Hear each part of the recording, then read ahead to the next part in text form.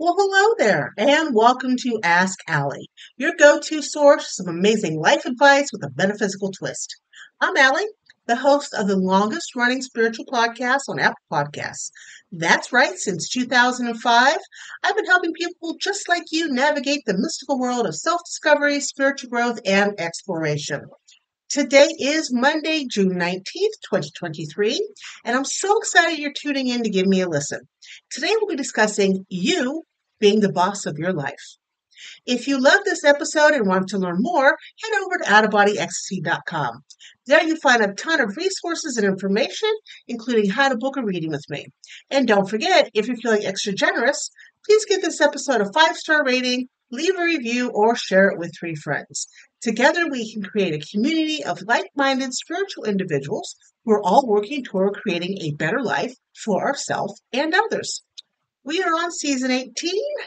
Believe it or not, season 18. It still amazes me. We are on episode 21. And for the magical item of the week, we are looking at patchouli, the essential oil. The planet it represents is Saturn, the element of Earth. The magical uh, influences it has is sex, which is always good, physical energy, very good, and money, which I'm sure we all like. now, the scent of patchouli is useful in arousing sexual desire and has been celebrated as such for hundreds of years. With proper imagination, so you got to use your imagination on this one. It releases anxiety regarding sex and prepares its user for an enjoyable experience. You inhale the patchouli and imagine yourself having anxiety free sexual relations with yourself or somebody else. All right? To get yourself going in the morning, you want to s- smell, give yourself a few whiffs of patchouli for only a few seconds. That starts you right up. Kind of like um, what other do I like for getting me up in the morning? I love any orange, lemon, lime. Those are also fantastic essential oils for that. And also, you can also inhale this wonderful, uh, what do I want to call it? musky, musky scent. Um, you can inhale this and imagine yourself attracting money to you, attracting money any way you want to through an increase in your income, by your side hustle, by your business, by inheritance, any way you want that you're comfortable with attracting money to you. That's what you imagine when you're inhaling the scent of patchouli. Now we'll have a little picture of patchouli and the planet represents the elements and its magical influences on this post on this episode's post at outofbodyecstasy.com. Now, moving forward, let us do the Oracle card overview of the week for June 19th, 2023. And we're using the Sacred Traveler Oracle cards by Denise Linn. If you would also like to see a picture of the cards I'm about to draw here, um, please visit this episode's post at where? outofbodyecstasy.com. And I sure hope my fan in the background isn't bothering you. I'm not sure if you can hear it or not. I'm hoping you cannot. Um, it's one of those nice big tower ones, and uh, it's it's every time I have an office, it is the hottest room in the house. I don't know why that is. It's just how it's just how life goes. But even in my new house, which I love, um, it's it's still the warmest room in the entire house. All right, so let us get here and shuffle and draw our three cards. See what kind of week we're having.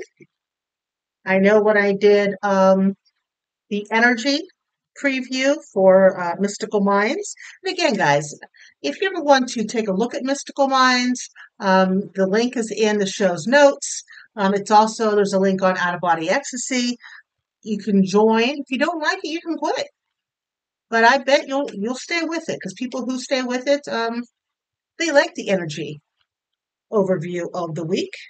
They like cards being pulled for them. They like me answering questions. You know, getting their intentions in the intention grid. It's all good stuff. All right, so card number one. All right, Card number two. And last but certainly not least, let's get card number three here. Card number three. Right. Put these out of the way. One. Two. And number three.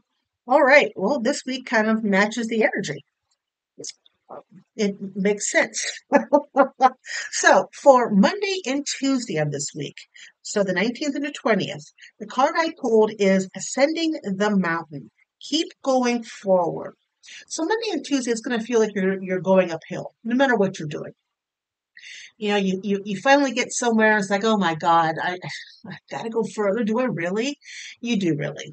Um, it's important that you keep ascending the mountain. It's important that you keep moving forward on Monday and Tuesday in whatever is, is causing you a little bit of grief here that you have to go up the mountain. Whatever it is will pay off, but you have to keep moving forward. That is the most important thing. Please keep moving forward because it will pay off. Then for Wednesday and Thursday, after you've, you've, you're climbed the mountain, Wednesday and Thursday, we have taking shelter. The answers are within. So Wednesday and Thursday is not the time to look outside of yourself um, for answers. You'll find them, but um, they won't ring true with you. It'll be like, yeah, really. So instead, look within. Trust your intuition on Wednesday and Thursday. It will not let you down.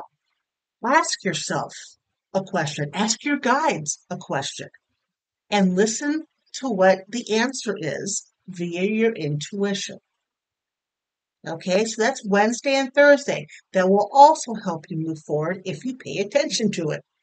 And then we have Friday, Saturday, and Sunday. Now, Monday through Thursday, we work pretty hard. Going up the mountain, trusting our intuition, seeking answers.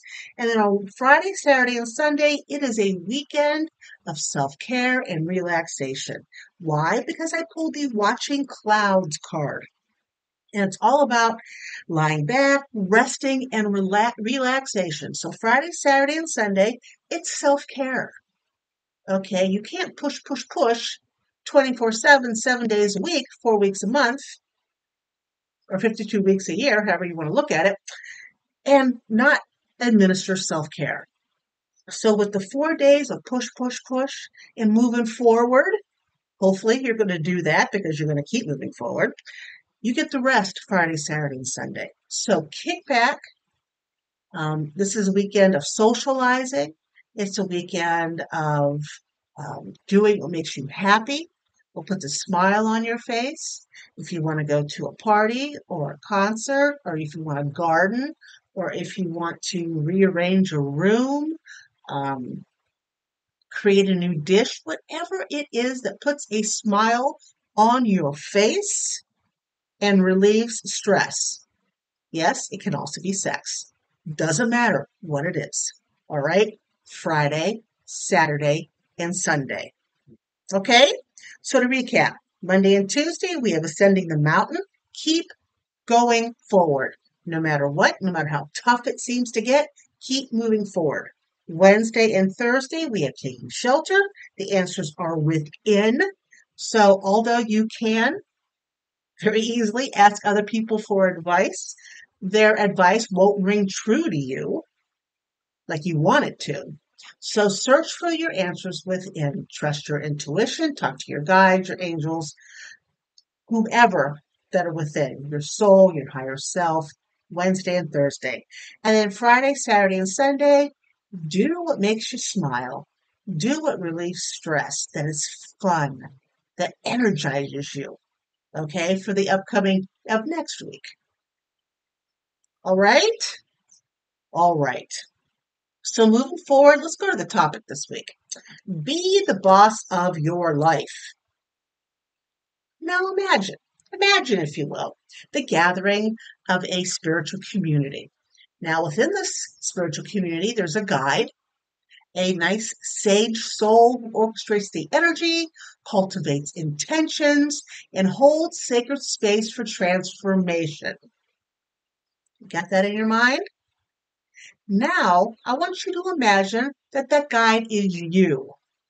And that community, it is the tapestry of your life. It's thrilling, isn't it, to think of it that way? It could be, I don't know, a touch intimidating, maybe.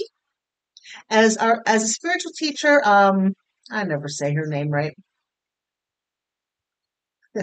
Marianne, it's probably wrong. Williamson, and I don't know, we all know who she is, but I apologize if I said her name wrong. Our deepest fears is not that we are inadequate. Our deepest fear is that we are powerful beyond measure.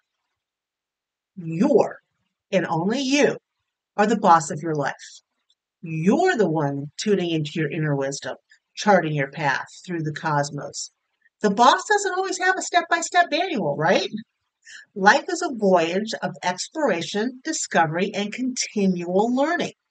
There may be moments when the cosmos seem out of sync. God knows I've had that a gazillion times. Your energy feels out of balance at least a couple days a week, or doubts do loom large. That does happen to me quite often. But these moments are not roadblocks. No, they're not. They are catalysts for growth. They are opportunities to pause, realign, tap into your inner wisdom, and emerge stronger. Had I not done that, I would not be in my new house in Akron, Ohio, leaving my bus driving job behind and back to doing what I love this and sexual wellness for women full time.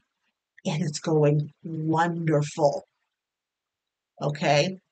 Life will bring days of serene meditation by a tranquil lake, and days of traversing challenging, energetic terrains.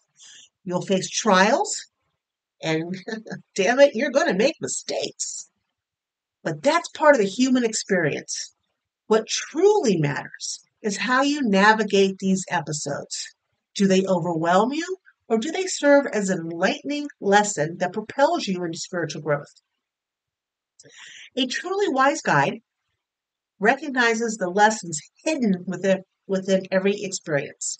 They don't abandon their spiritual path at the sight of an obstacle. They seek wisdom, adapt, and continue their journey with newfound strength and understanding.